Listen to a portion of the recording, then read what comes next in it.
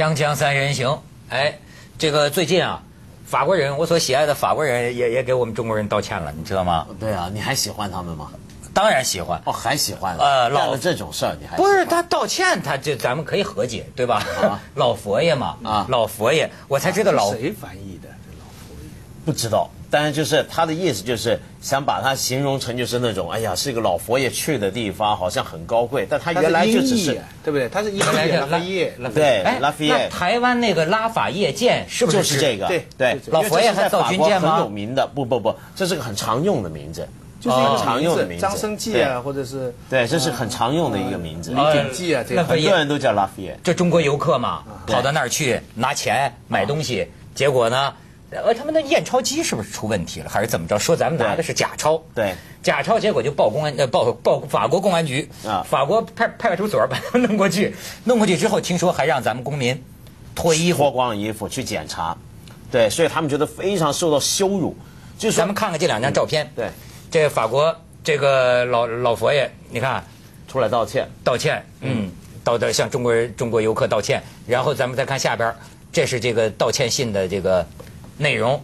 啊，你看上边拉拉法耶啊，嗯，所以他的问题呢就在于呢，就是第一，你的这个验钞的程序有问题；二来呢，你他你去了警察局之后，就算是用伪钞，也用不着叫人家脱衣服，而且你是整个程序上就有问题，所以大家都觉得这是个种族歧视。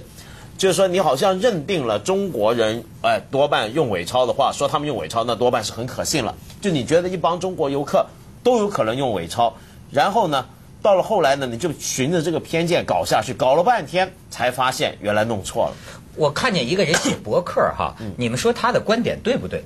他就说，当然这法国人这次你也有错，你跟我们道歉，这是应该的，对吧？但是就说从另一方面来说，什么我们中国游客是不是也要注意一些自己的行为？就是说，要知道法国的这个新闻这个事件是在一个什么背景下发生的。第一是法国现在对这个移民呢、采取这个比较紧的政策，嗯，呃，大批移民就涌入法国。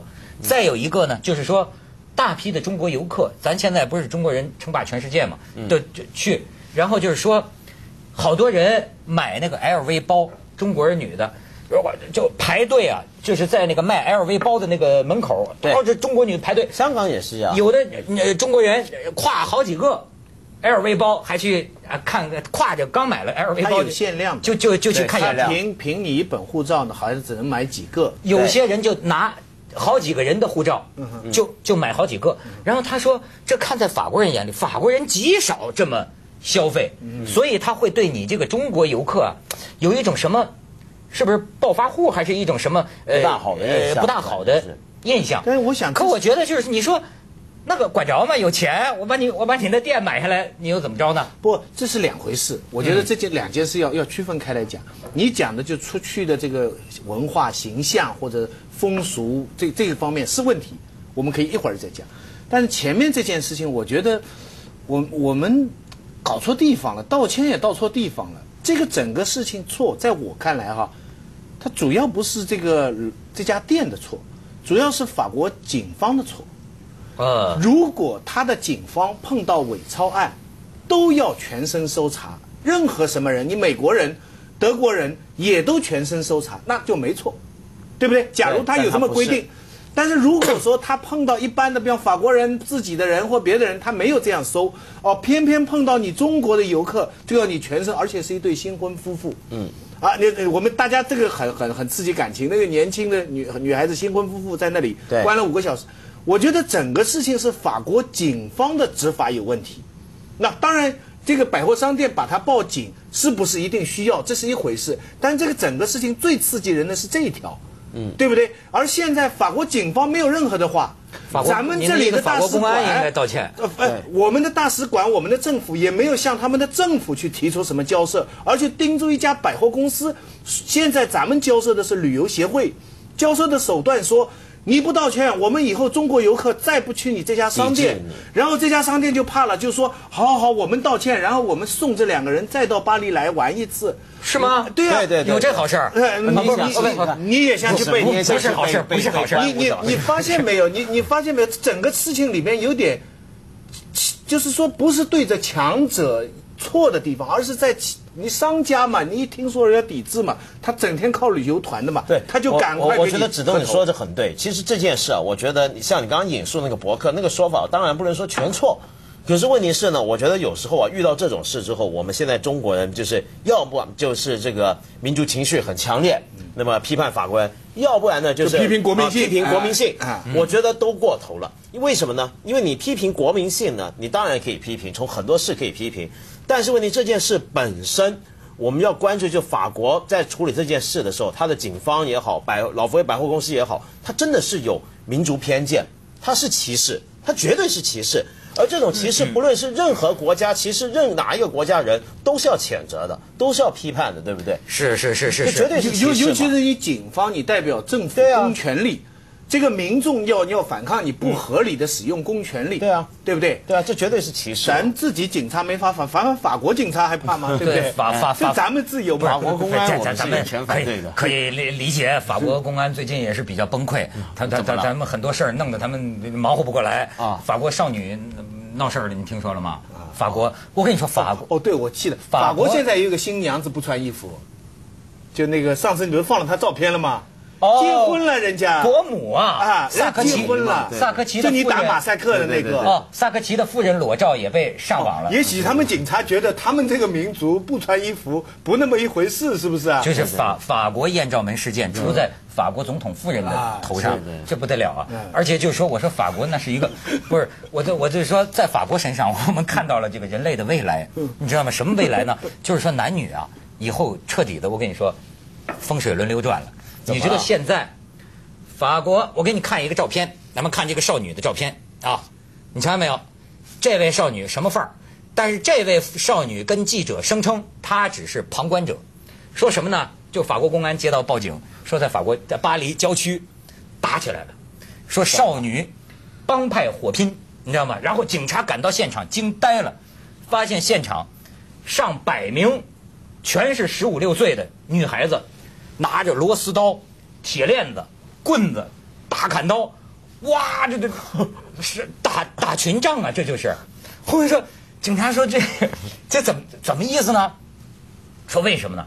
说呀，原来你看人家法国这少女就是在她在郊区，就是多移民的地区，你知道吗？那很多是北非移民是吧？对对对，反正什么地方人都有。然后原来原来在她在巴黎郊区还有这个风俗，就说现在少女帮派管着什么呀？男男孩儿那都是他们的羔羊。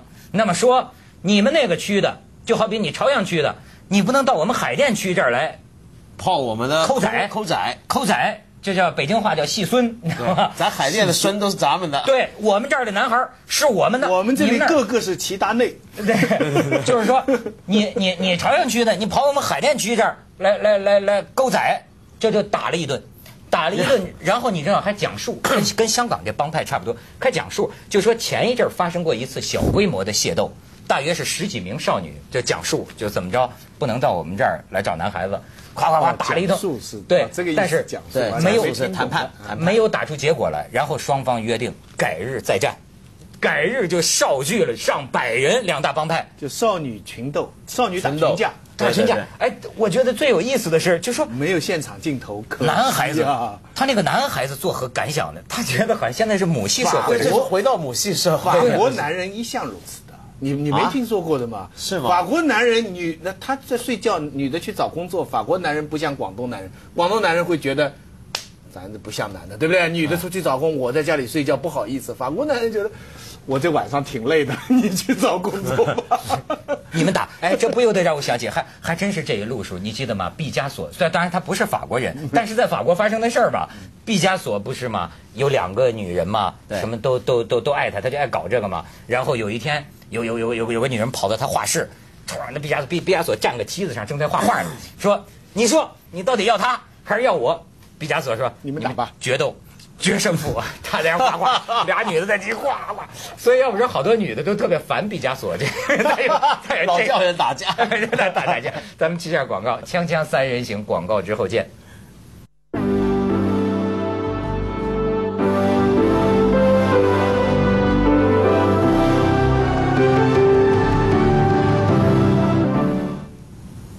你讲回这些游客，中国游客出去的心理啊，这真是我看了这个新闻就很矛盾。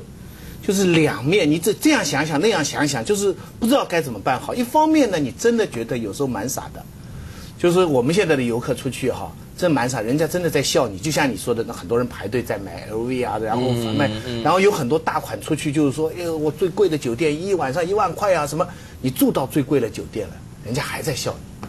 你你明白没？你你你很多东西你都不知道嘛，你你你你这个拖鞋啊什么，你的很多事态度啊，就你你就没到这么一个生活氛围里边，你这个跑进去，我我跟你讲，我就亲身碰到有朋友出来了，到香港，他说下午啊四点多钟啊，呃，我们说我们去喝点咖啡啊什么，他说哪家贵啊？那我说半岛贵啊，就跑到半岛去饮茶了。他一坐下来就说鲍鱼鲍鱼，我要鲍鱼。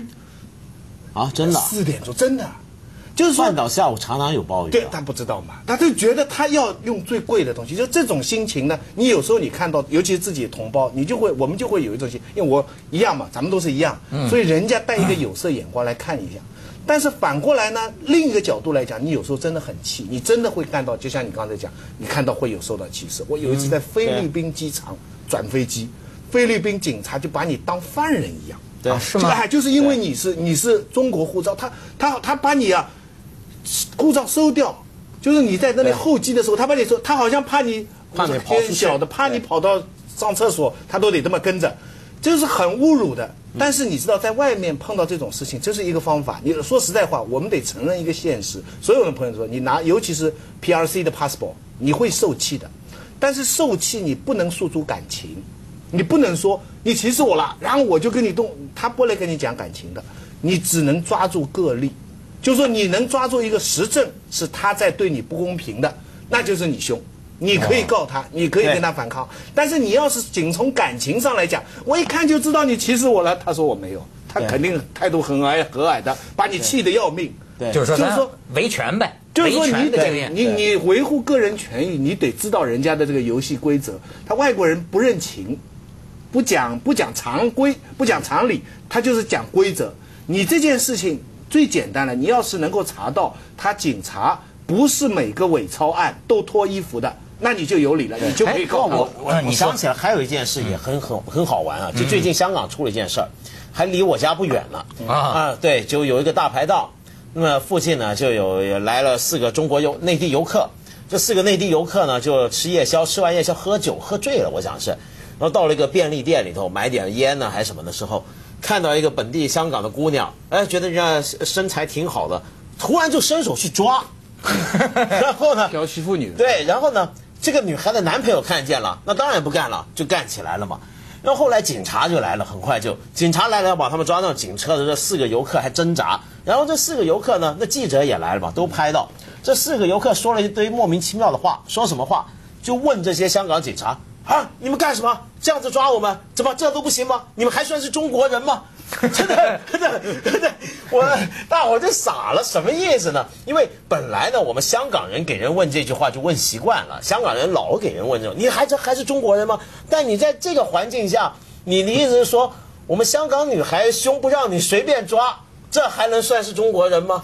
这是什么意思呢？我就不懂了，真是。不这就叫什么呢？正义汹汹，你知道吗？哎对对对好好多人呢，因为我们的语言说实在的太太单调。对当我们表达义愤的时候，我们这个还什么义愤呢？你你你不是你你你是啊生意人你不是还义愤啊？不是抓不不是抓他他当然抓这件事情他可能做错了，但是内地来的游客到香港到澳门，心里有一种外表表现出来的愤怒跟不满，其实心里是。自卑，你知道这，因为钱啊各方面，他他隐隐的感觉到你们在歧视他。他比方说有有个朋友就这样说过，他说我到店里去，我会一些广东话的，我跟他一说广东话，那个店员就用那种不不太标准的普通话来回他，他反而人家其实可能是好意啊，可是他反而觉得人家在侮辱，就是说。你怎么好像意思说我不会讲这个话？你你讲的那个话，呃呃呃呃，你你你们看啊，这个东西都好，就听上去他好像在骗他。其实这是一种心理作用，这是一种自卑的心理。其实这种自傲跟自卑是混合的。对是一所以在发生在香港，这个心理就更加更加复杂。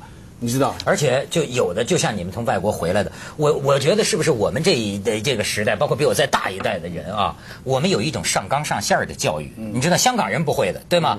我们的那个思维方式啊，对对对对是上纲上线。对你看不起我们啊！我在不是我在那个罗湖海关呃就碰见过是吧？就好像我感觉这个这个女士啊，她是一个从美国回到中国的这么一个中国人啊，然后大概是因为手续问题啊，这海关把它截住，在处理一些事情。就像你说的个案，它就是这个嘛，对吧？但是我听这个女的一直都在，我听着一直都在讲这个什么国家政策，你知道吗？她讲。我就说，中国到现在还这么不民主、不自由、没有人权，啊，为什么这这样？这这这这，你知道吗？他上他说的这个 这这些个，我为为什么我说叫正义汹汹啊？就我看着好像你说的这些个事儿，跟海关人家现在跟你办的这个事儿，我想起来没什么关系啊。我想起来前阵子我们很热闹讲陈冠希的事儿，有些网民也是这么说的。说实话啊，有人说我们大伙这样子看人家私隐不对。什么时代了？我们中国人到现在难道还没有言论自由吗？还没有这个看人家私隐的自由吗？我们窥看，我们就是爱窥看，怎么样？我们中国人现在要站起来了。没 错没错，就这是是膨胀的民族主义。这是这是一种很深刻的，有有有时候你看咱骂人都容易骂出这个上纲上线儿来，就像说你还是中国人吗？这其实中国人有什么特别了不起的吗？但是但但我真的但不太明白但是我在很大的晚会上就听到有人唱这样的歌，大概的歌词就是说，就是说我是中国人，我了不起，我幸福，我是中国人。我我今我听了这个歌，其实严格说来，这政治不正确。那人家。人家朝鲜人那那怎么了？就就就就就惨了吗？那朝鲜人天生就跌倒吗？你你明白吗？你用这样的歌来唱，当然我们是受欺负，我们多少年要自信。可是你这位，其实它背后隐含的这个意思，其实你应该唱我们都是人，对不对？对，我们我们都是人，也不能随便杀狗啊，对不对？对对，所以我我我跟你说，当然也不能光说中国，法国他现在也闹起来了。他也是我们法国人，不是对 不对我跟你说，法国总统国歌多血腥啊！法国总统怎么样？萨科齐，萨科齐，我再给你看照片儿。老盯住人萨萨科齐，他是在看相这萨科齐在参加一个农展品的那个一个一个会一个活动，这不跟人握手吗？你看，你再先看下一张，这萨科齐什么词儿都说出来了。下一章咱们看，这就就这萨科齐啊，不是介绍，这不是？你看他跟牛在一块儿，就犯了牛脾气，就是握手嘛。总统就逐逐个跟人握手，然后握到一个人旁边，那个人来来可能是不尿你这壶，那个人说你别碰我，你别碰我，我才不跟你握手呢。结果你知道这时候萨科齐冲这人说什么？你个白痴，滚蛋！骂骂起来了。开始吵架，他还说了很多脏话。哦对 俩人还在记者记者面前说脏话，啊就跟那人干起来了。萨科齐说哈哈，好吧，滚蛋吧。对对，什么什么我操啊，什么什么什么这些话都出来了，都出来了都出来了。asshole 那等于是啊英文的，这都都出来了。但这个东西啊，呃呃呃，后来闹大了之后啊，大家就讨厌萨尔科齐。现在法萨尔科齐在法国名望很低，啊你知道为什么？就你你从某一个角度，你可以说，哎呀，这个总统很率直。他有什么性格啊，都要表现出来，因为他不是第一回了，啊他去年就已经骂过人了。但是现在呢，大家不喜欢是什么？就是说，透过这样的一个行动，我们老是觉得这个人怎么他的私生活跟他的总统之间好像混得很厉害。比如说像他那个老老婆啊，那本来呢，那个他娶个老婆也挺好的，那么在别的国家人家觉得是件美事儿，但是法国人不买这个，法国人是觉得你自个儿的事儿是你自个儿的事儿对对，你你关起门来你爱干什么我咱不管，嗯，你别天天闹这个，你就拿出来曝光，这是他所以他也是个家事国事天下事事事关心。锵锵三人行，广告之后见。